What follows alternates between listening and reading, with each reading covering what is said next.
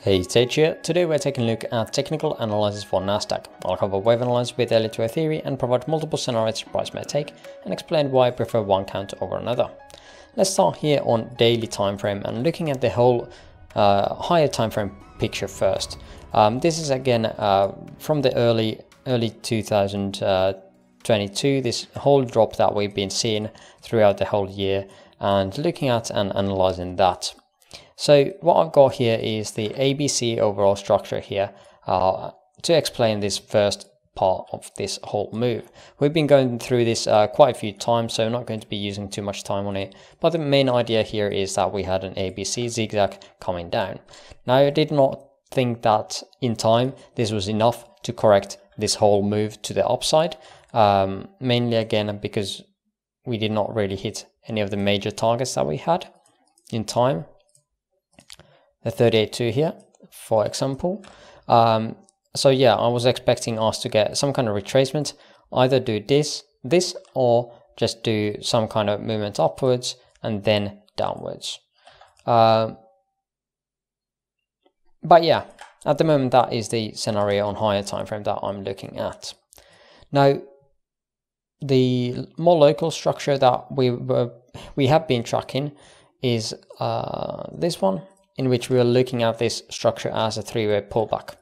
Now, the idea with this one is that we have a three-way move that is really extended up into the top. Uh, this again can be probably viewed multiple different ways, having this as three waves, pullback three ways, and then again three ways.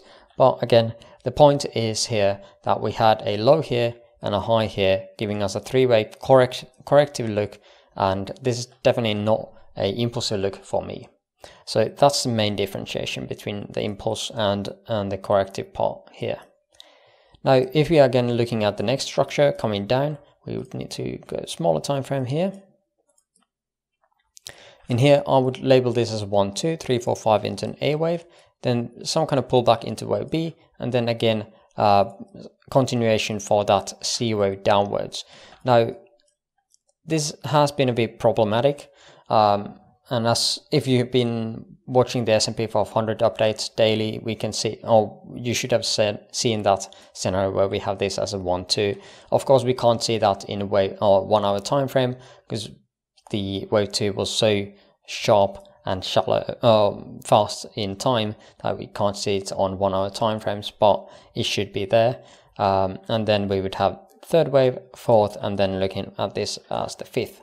Now we don't need to be labeling this as a contracting diagonal here because again um, we don't have overlap between this high here and this low. It definitely would look pretty good as a diagonal as well. Now since that low was put in place this would end the wave 5 and end the wave C of this higher time frame. On higher time frame we would have this ABC coming down to the 1.236 and then we would be looking at some kind of retracement. Now I don't think this is going to be the retracement that we are after. This is definitely just a part of it. Um, if we are even zooming in a bit further here on 15 minute, we can see that this three-way structure is indeed a three-way structure into a possible A wave. I'm thinking this as an A wave because again, this is way too small to correct this ABC structure that we had here in time. Um, so yeah, this would be just the A wave of this thing or this correction. Then we had another very impulsive move to the downside. I would expect this to be an A wave, part of this whole structure still, and then we would be looking at this uh, some kind of structure here to, for that wave B. This would take most likely the uh, whole of Monday to develop, and then I would be expecting us to take another dump here for that wave C to complete the B wave, so A, B, and then we would be heading higher. Um, yeah, max I would see where B would go to is the 11.7k area, um, uh, which again, uh, this would be too low for this B wave to happen. And at that point, again, I would expect this to be something else. I have a count for that as well. Now, after this one, we would be expecting that C wave. However, that would be again five-way structure. So I don't really expect us to be taking this long the 38.2 here is pulled from,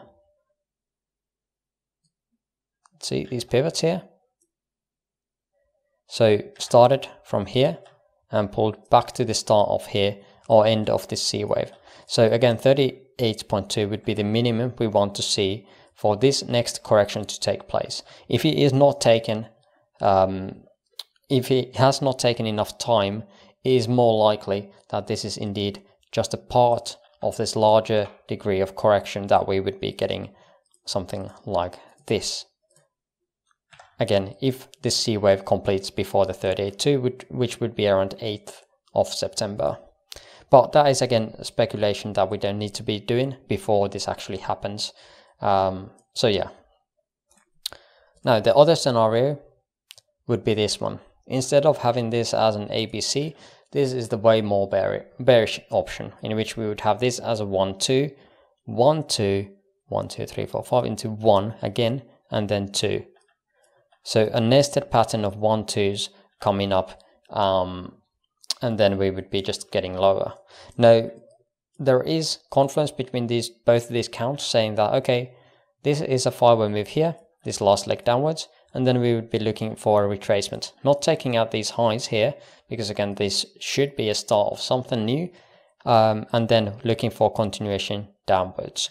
This is a good thing that we have multiple different counts saying that, okay, this is what we are going to be expecting on both of them. So that is going to give us more confidence that we are actually heading more downwards. Whether we are going to be doing it the way we were expecting on the other count and doing uh, going up to this point and then going higher. I'm not quite sure of that yet. But again, this whole structure is so much more bearish um, that we have to be acknowledging that there is a possibility for this. Now, if we are again zooming out and pulling out this uh, ABC structure over here, um, this has been the main idea overall uh, for quite some time, having this as an ABC into W, three-way pullback very wonky looking, very extended C wave for this X, and then we could be looking at this wave Y here.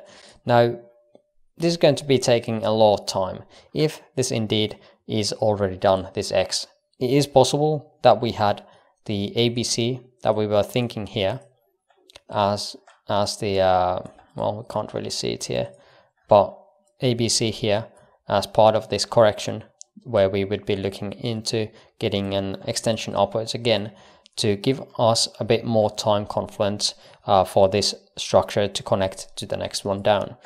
The overall structure, I am think still thinking that we need to be going down because this is not impulsive structure.